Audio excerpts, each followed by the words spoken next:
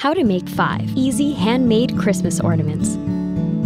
Make memories and spread holiday cheer with these easy Christmas ornaments.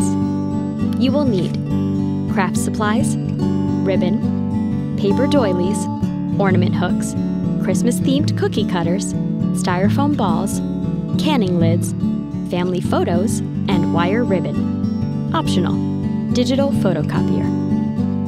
Step 1 Punch a hole at the top of a lacy paper doily.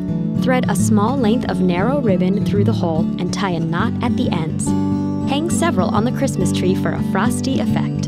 Hang transparent ornaments near a tree light for a dramatic effect. Step 2. Tie a loop of ribbon around Christmas themed cookie cutters. Hang several on the tree for an adorable candy theme or to emphasize a country motif. Step 3. Take styrofoam balls of various sizes.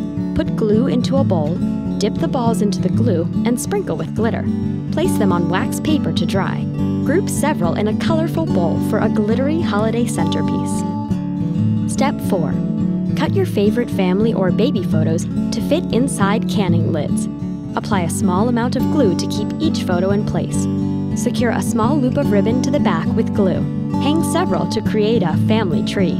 Make digital copies of your favorite photos if you'd like to keep the originals intact. Step 5. Cut several 8 inch sections of wire ribbon in your choice of color. Twist the ribbon around a pencil. Push a pin to make a hole at one end.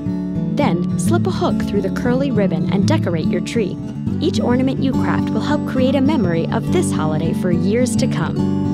Did you know Prevailing belief holds that Martin Luther, the German Protestant leader, originated the tradition of adding lights to Christmas trees in the 1500s.